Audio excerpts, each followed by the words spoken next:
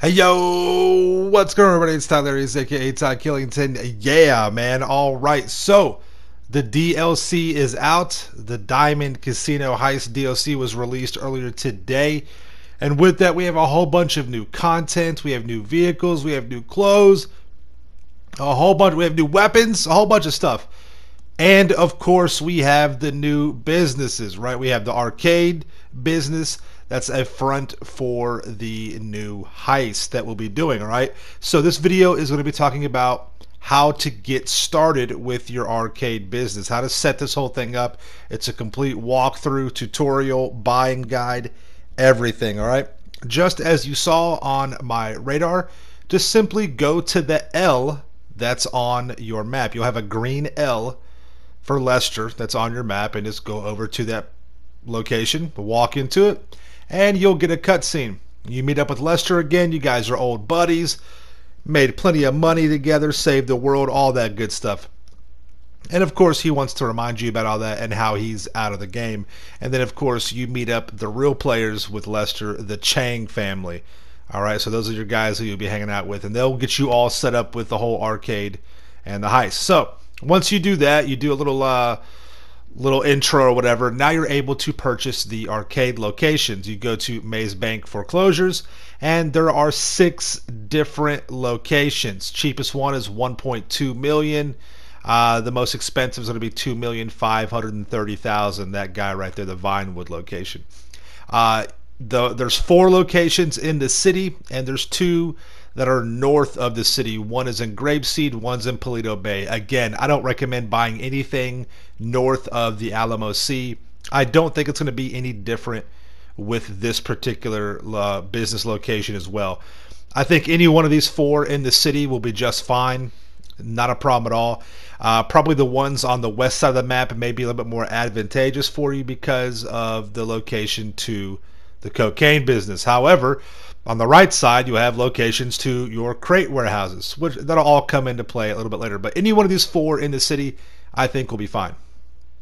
Now, moving on, of course, of course, you can upgrade the interior. You can mess with the style, the mural, the floor, the neon art, any kind of extras, the garage. None of this stuff is necessary though. You don't have to waste any money on any of this because it is going to cost a lot more money when you're upgrading the cosmetics. But again, it's fun. If you got the cash, don't worry about it. Have a good time. If you don't have the cash, don't freak out. Usually within a month of the DLC dropping, everything will be on sale. The locations, the upgrades, all that stuff. So if you can't get everything you want right now, don't worry about it. I made a prediction that the bare minimum that you would need to have to get going with this would be around 5 million, and that is 100% confirmed. So all you really need is about 5 million to get what you need going and you'll be set. You'll be you'll be good to go. You can start making money with this and get into the heist. All right. So look at the different murals, all that good stuff. They go all the way up to a little over a hundred thousand. All right. Pick whichever one you want to go with. It, again, these are just cosmetic. You don't have to have these. Okay. But I want to make sure you see all this, get an idea. You know, of course, if you want to you know, customize, you can do that. All right. Once you get towards the end of it, you can add in a personal quarters and a high score screen, which is really cool. You can also add in a 10 car garage. Once you get all this set up, you're over a million dollars for the customization in there. The only things I would really have that you may need would be the garage for some extra vehicle space. That's going to be about $215,000. Uh, but yeah, you're going to be over a million for it's about 1.2 million, 1.4 for everything in the customization. Again, not that bad, okay? but you also have some upgrades that you have to add on. Uh, before you're able to really do anything with that, you have to get the equipment collected. Okay, so go into your little computer that you have in the basement and you want to start your collection mission. Really simple. You just go pick something up, bring it back. Now we can get into adding the further upgrades. All right, this is a real simple mission. This took me, I was doing all this on a live broadcast. This took me like maybe two minutes. Okay, you go back in, you go through another cutscene. Lester's going crazy with his mania, uh, whatever. I love this. That's so funny.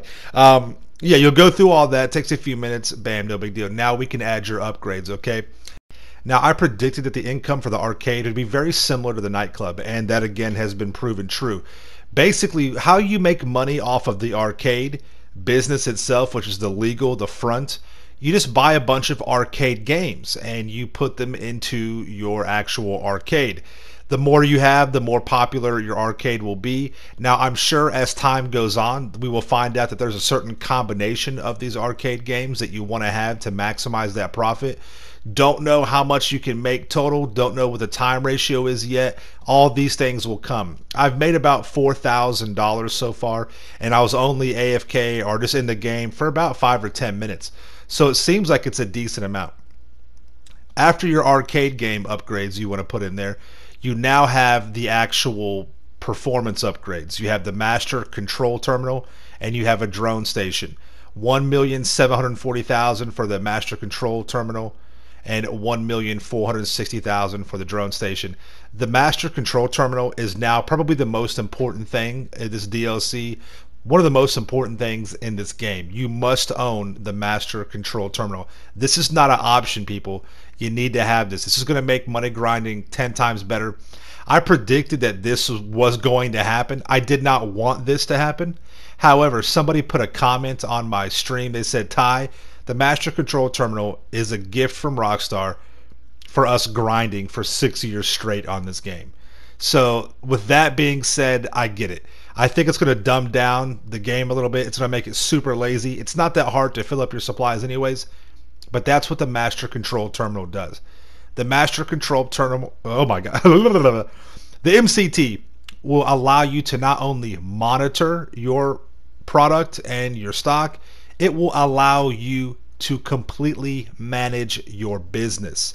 I can buy supplies, I can source supplies, I can sell, I can adjust my nightclub technicians, I can do all of this. All right. And just to let you guys know, if you do try to launch a sale from the master control terminal, it will spawn the vehicle like it was a normal sale from that particular business. For example, if I make a sale with the MC business, if I get post op trucks, they're going to spawn outside of the Coke business, right? If I do a uh, you know a sale with my you know CEO crates, which you'll see here in just a moment, it's going to spawn the plane where it normally would if I was selling directly from the actual warehouse. It'll spawn it at the airport or whatever.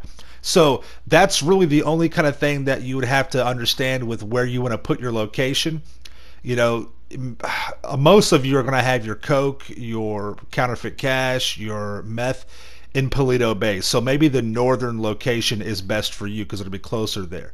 Uh, if you do a lot of crate sales like myself, the one that's right down the street from Darnell Bros, that may be the better location, but it wouldn't really make that much of a difference. It's not that far to get around. So if you want to do your sale from the the MCT, that's fine. The MCT is mainly going to be used for buying supplies. That is the key right there. And as you see, I'm launching a sale mission totally solo in a populated wild ass lobby by the way um, and it just it launches it like it's a normal sale from the actual business location so that doesn't change it doesn't spawn anything that i know of anyways i haven't tried everything yet but it doesn't spawn anything outside of your actual arcade you also have a new nano drone. This is a personal drone. You don't have to use a Terrorbyte for a drone system now. This is the compact, the nano drone. It's pretty cool. That's the other little uh, upgrade that you can buy. You don't have to have this one. You don't have to have the drone upgrade. I just think it's pretty fun. Uh, so there is a cooldown timer of five minutes. The range on it is a, I'd say about two blocks from your actual person. You can shock people. Um, I wish they would just give us a stun gun. For the love of Rockstar, let's go, man. For the love of Kifflom, give us a freaking stun gun. Uh, that would be so much fun. Because, I mean, you could do this. Imagine doing this with a stun gun with all your friends. I mean, that would be hilarious. And, of course, you can blow stuff up with it, too. You can detonate it and blow stuff up. So, you know, you don't have to have that. The MCT, you have to have some of the arcade games you will want to have to make your arcade actually make money. And this is where the arcade legit business is stored. It's in a safe in your office, very similar to the nightclub. As you saw right there, 3,500 bucks I picked up. I was only in the game for a little bit, so. But here you go, guys. This is a f- complete tutorial walkthrough, uh, your buying guide, everything that we have the information for so far. Anything that's new, we'll let you guys know coming up. So stay tuned for that. Thank you all so much for coming out to my channel. Make sure you subscribe to my channel for the Ills and Reels content in the game. Make sure you smash, I mean, smash that like button. And you guys stay dangerous, right? We'll see you in the next one. Peace out. Yeah.